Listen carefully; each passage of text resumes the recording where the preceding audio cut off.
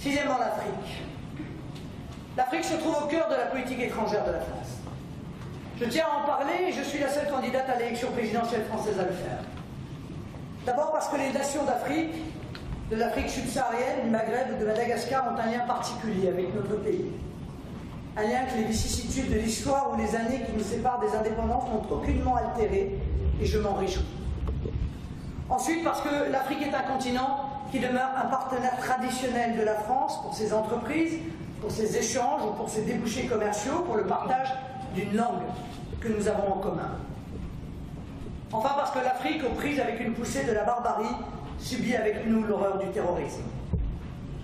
Il est normal qu'elle trouve en nous un allié déterminé, actif, et si nécessaire présent militairement, comme c'est le cas en ce moment dans ces pays que sont le Mali, le Cameroun ou le Tchad.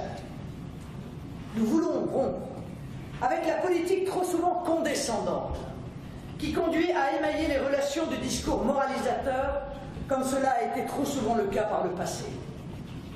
Nous appliquerons à nos partenaires africains le principe de non-ingérence et cette non-ingérence ne signifiera pas pour autant indifférence. Nous substituerons aux relations fluctuantes d'aujourd'hui des relations stables qui garantiront aux États qui le veulent la sécurité des pouvoirs légitimes. Nous souhaitons mettre en place une politique basée sur la franchise, le respect mutuel et une coopération active.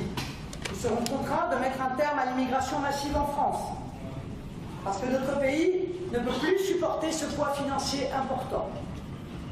Le contrôle de l'immigration s'effectuera toujours dans des conditions humaines et dignes. Cette nouvelle politique française interviendra en concertation directe et coopération étroite avec les pays d'origine. Cette nouvelle politique ne signifiera pas, je veux le dire, la fin des échanges et des voyages et même des installations entre nos pays. Les étudiants africains seront les bienvenus.